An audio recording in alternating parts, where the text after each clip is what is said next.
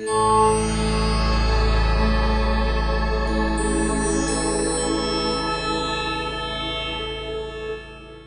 name is Mekuanent Getachew. I'm from Addis Ababa, Ethiopia, and I work at Ethernet, Ethiopian Research and Education Network. I work on Gaussian um, solution for, um, uh, there is a Gaussian software that chemists and physicists use uh, to analyze their input. Um, what I plan to do is build uh, a user interface and a wrapper so that uh, to complement that, um, that software.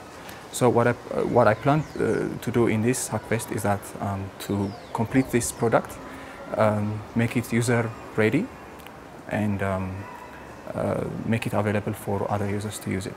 I think this Hackfest is a great thing for all of us. So um, I think we should go on and continue this. We should not stop this Hackfest.